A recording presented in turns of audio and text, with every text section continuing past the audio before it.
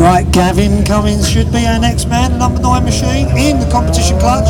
Now, Gavin Cummins last year here stepped up and ran against, I believe it was Mark Looney, and well, certainly showed he had talent and was moving up in the world, and he's here today just to prove it. All the way to the outside. Come on, Gavin, can you take it all the way to the barrier? It's looking a very good run from Gavin. Oh! And the sat nav just sent him a bit wide there.